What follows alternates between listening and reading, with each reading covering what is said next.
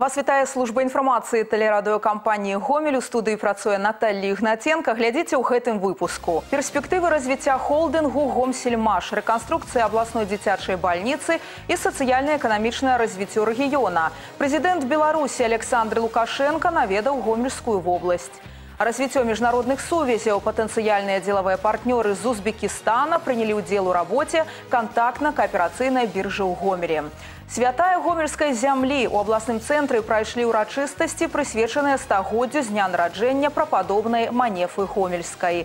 А зараз аб гэтым іншым больш падрабязна. Дзяржава не мае намеру прадаваць кантрольны пакет акцый гомсельмаша. Аб гэтым прэзідэнт Беларусі Александр Лукашенко заявіў падчас размовы з работнікамі холдынгу. Кіраўнік дзяржавы здзейсніў рабочую паездку ў гомельскую вобласць. Акрамя завода гомсельмаш прэзідэнт наведаў абноўленую дзіцячую бальніцу, азнаёміўся з арганізацыяй работы ва ўстанове і яе матэрыяльна-тэхнічнай базай. Анастасія Кучынская працягне. Старт рэканструкцыі дзіцячай абласной клінічнай бальніцы ў 2016 годзе дало распараджэнне прэзідэнта. Будоўля стала агульнарэспубліканскай, вялікія бюджэтныя датацыі, спонсарская дапамога і ахвяраванне. У будаўніцтве прыняў удзел практычна кожны беларус. У выніку пабудавалі палац. Менавіта так Александр Лукашенко выказаўся пра ўбачанае. Медыцынская дапамога маленькім пацыентам з усёй гомельскай вобласці цяпер выйшла на новы ўзровень. Тут усё па апошнім слове тэхнікі. Два новыя сямітажныя корпусы дазволілі стварыць аддзяленні, якіх раней не было, а існуючыя пашырыць практычна ў два разы. Знаходжанне пациентов стало куды больше комфортней. Я первый раз в такую больницу попала. Очень как бы атмосфера очень хорошая. Люди очень отзывчивые, такие добрые. Врачи очень Больница, конечно, на высшем уровне. Комфорт, конечно, важно, але галоўны плюс пабудаванага медыцынскага цэнтра у тым, што ў гомеле нарэшце ў адным месцы ўдалося сабраць дзіцячых урачоў усіх медыцынскіх напрамкаў. Хирурги, травматологи, реаниматологи, педиатры, э, разного направления педиатры, они все здесь.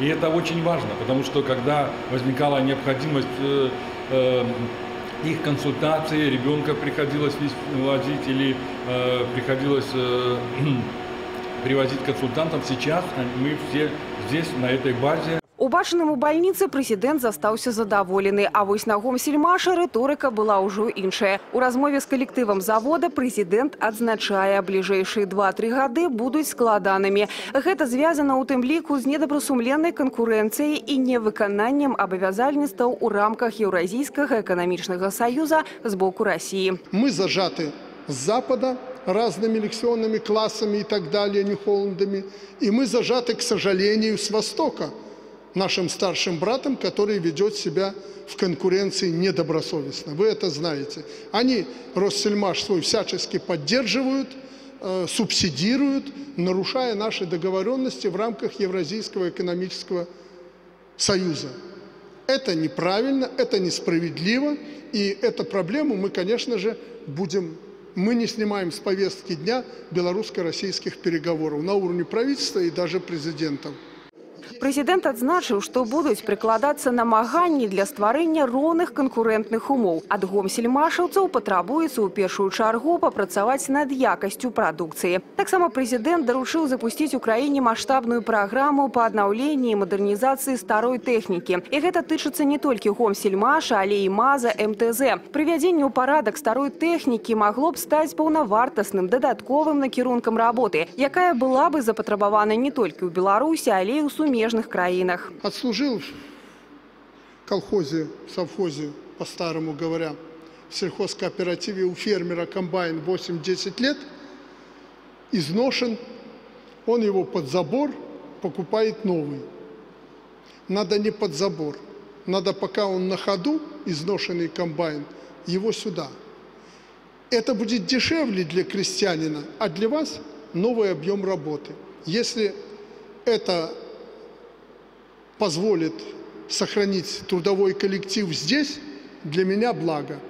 То, что это будет выгодно крестьянам и государству, это тоже благо. Сельмашаўцы пачулі з вуснаў прэзідэнта і, мабыць, галоўныя для сябе словы. Па-першае, дзяржава падтрымлівае мадэрнізацыю, якую яны хочуць зрабіць, а па-другое, не адмовіцца ад кантрольнага пакета акцый прадпрыемства. Предприятие – это государственное, а- и контроль должен остаться государственный. Я знаю, к чему приводит приватизация.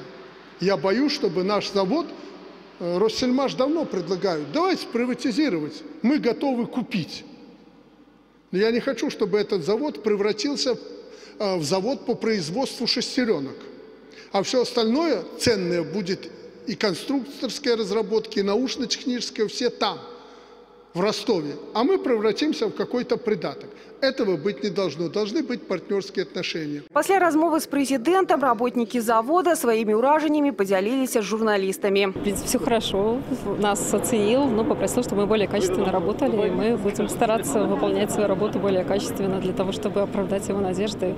И предприятие наше продолжало работать долгие годы. Мне приятно было слышать о том, что он сегодня похвалил наш суперкомбайн. Мы тоже им гордимся. Мне приятно было слышать о том, что мы хорошо сработали по импортозамещению, потому что я ведущий, ведущий инженер-технолог по импортозамещению. прозвучало напрямую, открыто, что контрольный пакет государства никому не собирается передавать, что хочет кто-то войти э, в долю к нам, ну, пожалуйста, пусть входит и помогает нам, а мы им поможем э, своей техникой.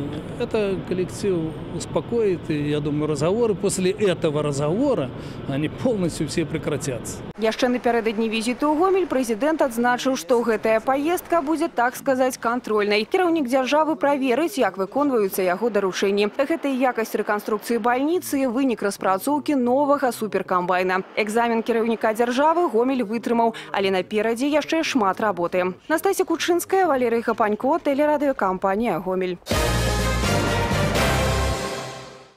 Сёння праваслаўныя вернікі адзначаюць дзень памяці прападобнай манефы гомельскай. З дня нараджэння святой сёлета споўнілася 100 гадоў.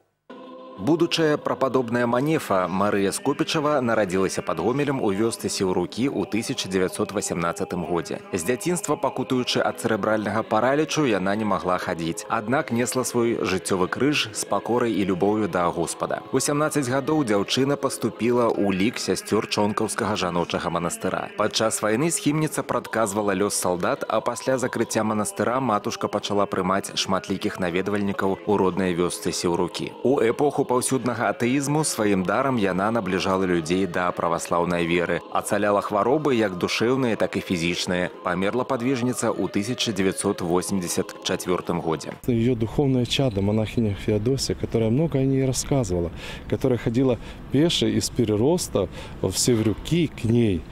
Хотя бы раз в месяц, но посещала ее и говорила, что вот как пойдешь побольше матушки, как она наставить по жизни, говорит, ну, месяц летаешь на крыльях, а к ней шли не одна, не два человека, а шли сотни тысячи.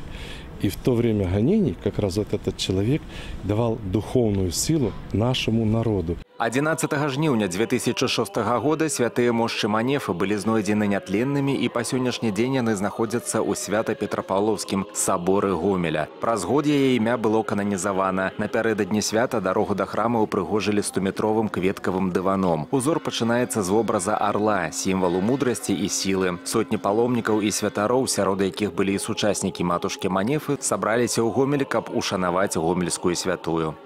Я думаю, что многие, наверное, еще сегодня помнят ее. Молитвенно будем обращаться к ней и просить, чтобы она, которая жила на этой благословенной земле и стяжала благодать Святого Духа, чтобы она помогала и всем нам на нашем жизненном пути, вдохновляла всех нас на дела добра, любви, милосердия, как она всегда призывала. Па волі лёсу свой манаскі подзвіг манефа несла не ў манастыры, а сярод звычайных неўцаркоўленых людзей. Парады манахіні былі простымі і дзейснымі. Адкрыць сваё сэрца для малітвы, пакаяння і міласэрнасці. Праз яе хворым падавалася здароўе, бедным суцяшэнне, а тым, хто сумуе радасць. Дзякуючы яе малітвам многія вярнуліся на шлях выратавання. Незвычайная сіла веры манефы да гэтага часу прыцягвае да яе людзей з розных куткоў праваслаўнага свету. Матушку мы чтим, помним, просим ее святых молитв, там уже у престола Божия за нашу Гомельскую землю. Яракаш с ее мощами, с матушки Манефы, находится в Петропавловском соборе. В открытом доступе всегда можно прийти, помолиться, попросить утешения, исцеления. Ну и благодарить, конечно, Бога не забывать о том, что происходит в нашей жизни такие замечательные чудеса, как мы живы, здоровы, веселы, радостны, и все у нас будет хорошо с помощью Божией. Ганна Каральчук, Александр Лупиненко, Валерий Гапанько, телерадыёкампанія Гомель. У гомелі прымалі прадстаўнікоў дзелавых колаў Узбекістана. Патэнцыяльныя партнёры беларускіх прадпрыемстваў наведвалі вытворчасці і прымалі ўдзел у рабоце кантактна-кааперацыйнай біржы. Заходам візіту сачыў Олег Сенціроў. Спочатку ділова зустріча у абавыканкамі, потым наведванне перапрацоўчага прадпрыемства акцыянернае таварыства мелкавіта на рынку ўжо больш 35 гадоў і за гэты час не толькі асвоіла значны асартымент, але і набыло вопыт па вытворчасці запатрабаванай на знешніх рынках прадукцыі. Штодзень на мелкавіце перапрацоўваецца да 650 тонн малака. Для параўнання гэта больш 60 вось такіх аўтацыстэрнаў.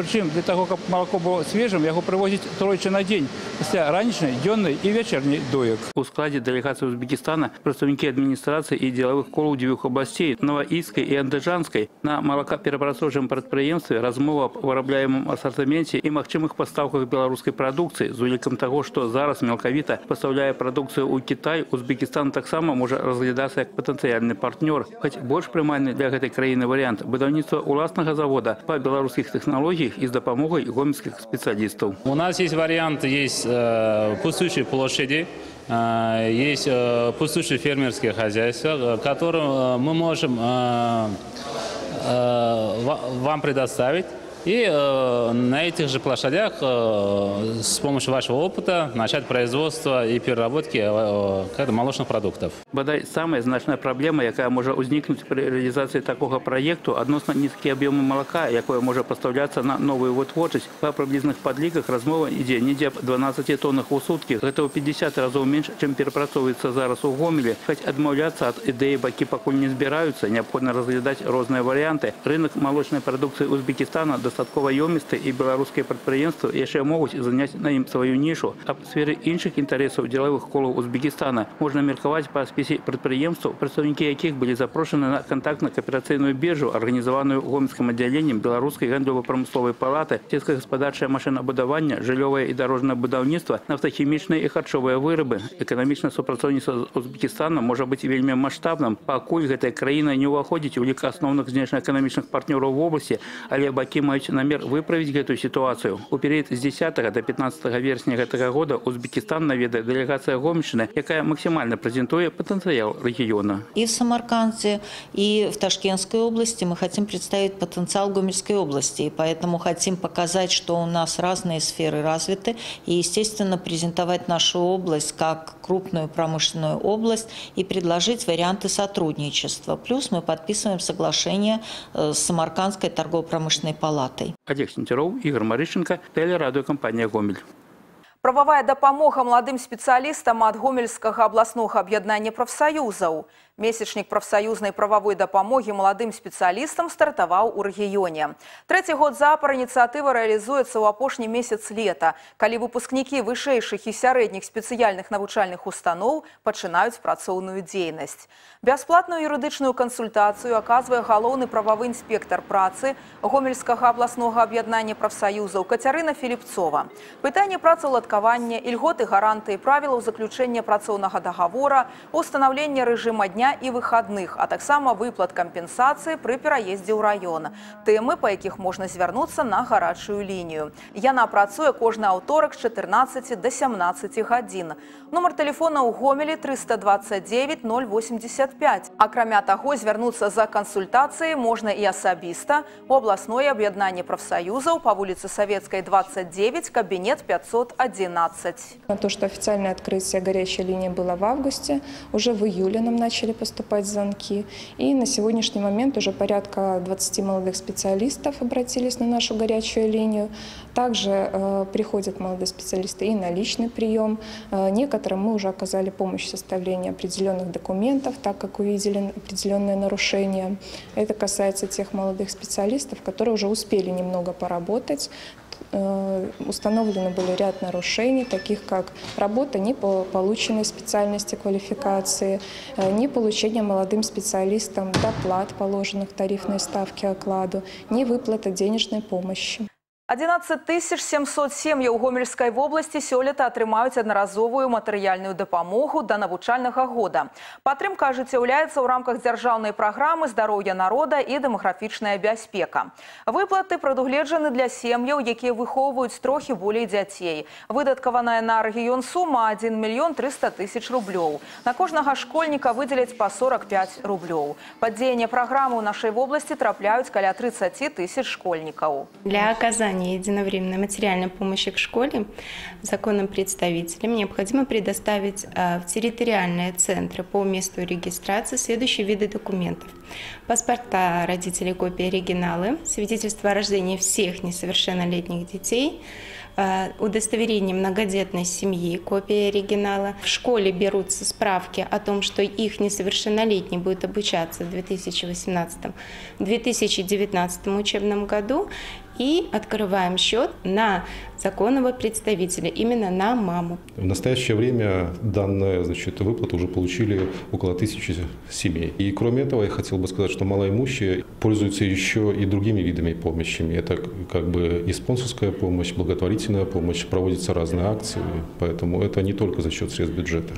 У рэгіёне стартавалі дабрачынныя акцыі. Бадай самая маштабная збярэм портфель першакласніку. Далучыцца да яе заклікаюць прадпрыемствы і арганізацыі в обласці індывідуальных прадпрымальнікаў. Школьную вопратку і абутак, канцылярскія прыналежнасці збіраюць для малазабяспечаных сем'яў, дзяцей сірот і дзяцей, якія засталіся без апекі бацькоў. Напрыканцы жніўня у аграгарадку ляскавічы, што ў петрыкаўскім раёне вызначаць самую прыгожую дзяўчыну палесся. Цэнтр моды і прыгажосці хрустальная німфа пры падтрымцы галоўнага ўправлення ідэалагічнай работы культуры і па справах моладзі гомельскага аблавы канкама арганізуе конкурс палеская прыгажуня 2018.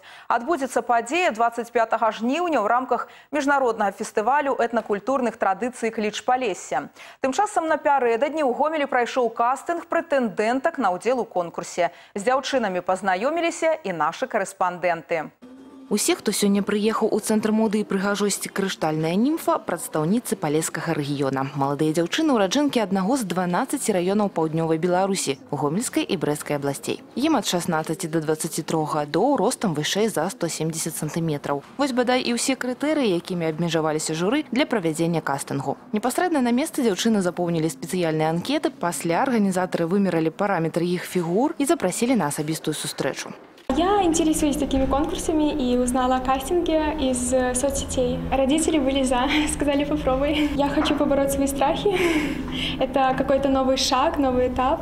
Это очень интересно. Сярод членаў журы кастынгу прадстаўнікі арганізатара конкурсу цэнтра моды і прыгажосці крыштальная німфа таксама спонсары. Дзяўчынам задаваліся пытанні наконт іх занятасці, асабістых захапленняў, вопыту публічных выступленняў. Акрамя таго, журы высвятляла адносіны прыгажунь да магчымых змен у знешнім выглядзе і ўвогуле правярала іх характар.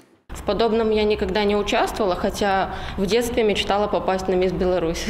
Поэтому подумала, раз не попала на Мисс Беларусь, значит, могут быть шансы здесь. Сярод удзельніц кастынгу былі дзве сястры, спартсменка, якая займаецца шматбор'ем, настаўніца, якая марыць стаць журналістам. Кожная з дзяўчын цікавая особа, гэта азначаюць і журы. Я считаю, что все девочки, они достаточно уверены, свободны в общении и достойны принять участие в этом конкурсе. На самом деле они все держались очень хорошо. И я думаю, что мы оставим всех, кто сегодня шел на кастинг. Да конкурсу застаецца два тыдні. У панядзелак дзяўчыны прымуць удзел у спецыяльнай фотасесіі для онлайн-галасавання. Затым пачнуцца урокі дэфіле, спартыўныя трэніроўкі, адпрацоўка танцавальных і іншых выхадаў. Арганізатары абяцаюць незабыўнае шоу прыгажосці і, канешне, самабытнай культуры палесся. Евгений Кухаронак, Андрэй Іваноў, тэлерадыёкампанія «Гомель». Гэтыя, а таксама іншыя навіны вы можаце знайсці на нашым сайце ў інтэрнэце па адрасе трайное w.цвяргомел.бівай. На гэтым выпуск завершаны. Дзякуй за ўвагу плённых выхадных і да новых сустрэч у эфіры.